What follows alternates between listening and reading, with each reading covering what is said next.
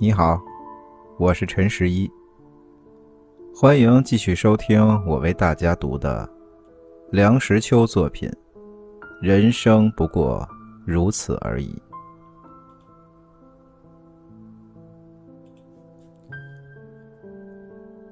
穷，人生下来就是穷的，除了带来一口奶之外，赤条条的，一无所有。谁手里也没有握着两个钱。再稍稍长大一点儿，阶级渐渐显露，有的是金枝玉叶，有的是杂货面口袋。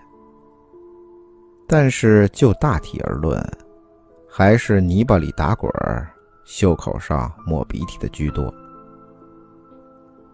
儿童玩具本是少得可怜，而大概其中总免不了一句“铺满”。瓦做的，像是陶器时代的出品，大的、小的、挂绿釉的都有。间货也有形如保险箱，有铁质的。这种玩具的用意就是警告孩子们，有钱要积蓄起来，免得在饥荒的时候受穷。穷的阴影在这时候就已罩住了我们。好容易过年赚来了几块压岁钱，都被骗弄丢在里边了。丢进去就后悔，想从缝里倒出是万难。用小刀剥也是枉然。积蓄是稍微有一点，穷还是穷。而且事实证明，凡是积在蒲满里的钱，除了自己早早下手摔破的以外，大概后来就不知怎样就没有了，很少能在日后发生什么救苦救难的功效。等到再稍稍长大一点，用钱的欲望更大，看见什么都要留闲，手里偏偏是空空如也。那时候真想来一个十月革命。就是富家子弟也是一样，尽管是起如晚倒，他还是恨继承开始太晚。这时候他最感觉穷，虽然他还没认识穷。人在成年之后开始面对糊口问题，不但糊自己的口，还要糊附属人员的口。如果脸皮欠厚，心地欠薄，再加上祖上是忠厚传家、诗书记事的话，他一生就休想能离开穷的掌握。人的一生就是和穷挣扎的历史，和穷挣扎的一生，无论胜利或失败，都是惨。能不和穷挣扎，或于挣扎之余还有点闲工夫做些别的事儿，那人是有福了。所谓穷，也是比较而言。有人天天喊穷，不是今天透支，就是明天举债，数目大的都惊人。然后指着身上衣服的一块补丁，或是皮鞋上的一条小小的裂缝，作为他穷的铁证。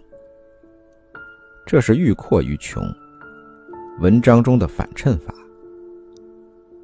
也有人量入为出，温饱无余，可是又担心他的孩子将来自费留学的经费没有着落，于是于自我麻痹中陷入于穷的心理状态。若是西装裤的后方越磨越薄，由薄而破，由破而织，由织而补上一大块布，细针密缝。老远的看上去像是一个圆圆的箭靶。说也奇怪，人穷是先从裤子破起。那么，这个人可是真的有些接近于穷了。但是也不然，穷无止境啊！大雪纷纷落，我住柴火垛，看你们穷人怎么过。穷人眼里还有更穷的人，穷也有好处。在忧郁环境里生活着的人，外加的装饰与铺排太多，可以把他的本来面目淹没无疑。不但别人认不清他的面目，往往他发生误会，多半往好的方面误会，就是自己也容易忘记自己是谁。穷人则不然。他褴褛的衣裳等于是开着许多窗户，可以令人窥见他的内容。他的闭门棚户，尽管是穷气冒三尺，却容易令人发现里面有一个人。人越穷，越靠他的本身的成色，其中毫无夹带藏也。人穷还可以落个清闲。既少车马住江鱼，更不会有人来求谋事，卜文请监都不会常常上门。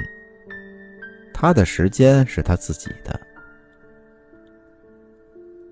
穷人的心是赤裸的，和别的穷人之间没有隔阂，所以穷人才最慷慨。金诺囊中所余无钱。买房置地都不够，反正是吃不饱饿不死，落得来个爽快，求片刻的快意。此之谓穷大手。我们看过富家弟兄细产的时候，把一张八仙桌子劈开成两半，不曾看见两个穷人抢食半鱼残羹剩饭。穷时受人白眼儿是件常事，狗不也是专爱对着纯衣百洁的人汪汪吗？人穷则颈一缩，肩一耸，头一垂，须发许是特别长得快，擦着墙边逡巡而过，不是贼也像是贼。以这种姿态出现，到处受窘。所以，人穷往往自然的有一种抵抗力的出现，使名曰“酸”。穷一经酸化，便不复是怕人见的东西。别看我衣履不整，我本来不以衣履见人。人和衣服架子本来是应该有区别的。别看我囊中羞涩。我有所不取，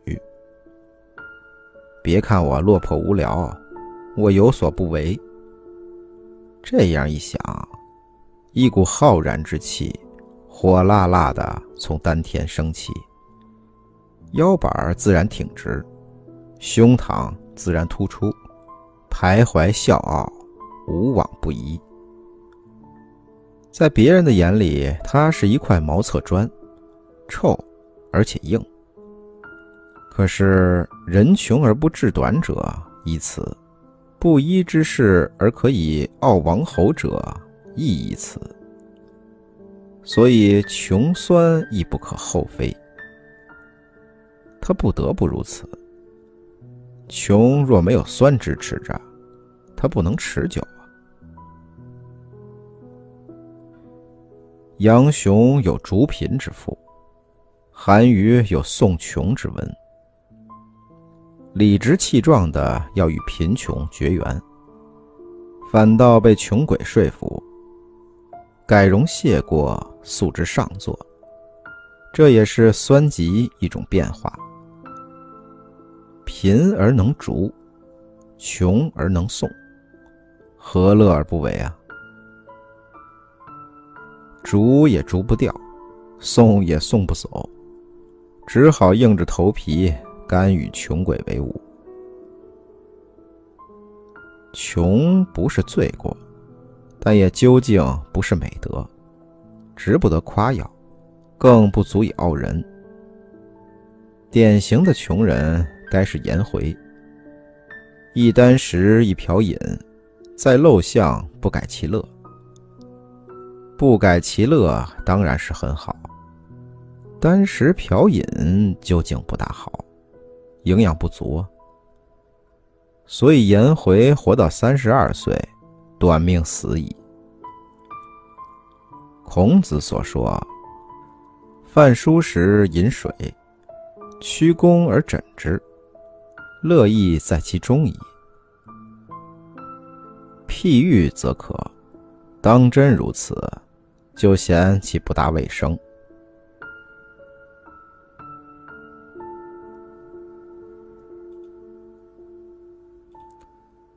今天的节目就到这儿了。古语有云：“白嫖不好，留言趁早。”得，您受累。